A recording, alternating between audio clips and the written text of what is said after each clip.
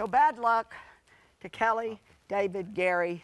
You've all been beaten this time, but congratulations to Frenchy, the winner of More or Less a Celebrity. Can I have an applause?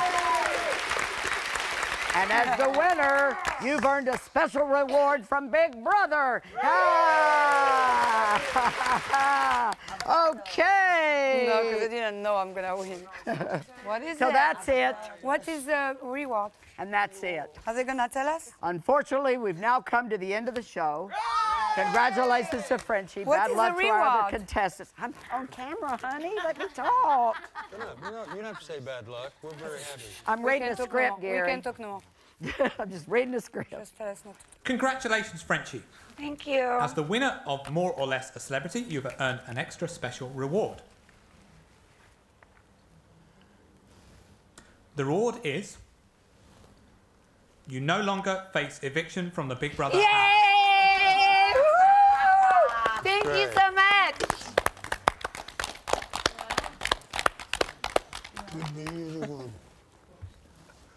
However, as you have escaped eviction, you must now nominate another housemate to take your place and face the public vote.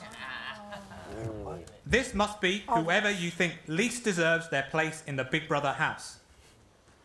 This housemate will then face eviction alongside Gary and Kelly and David. As Leslie is the star of the show, he is exempt from this decision. Oh God. Frenchy, you have 30 seconds Oh. to make your decision.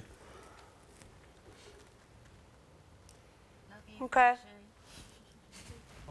Frenchy, your time is up. You must now give the name of the housemate you think least deserves their place in the Big Brother house.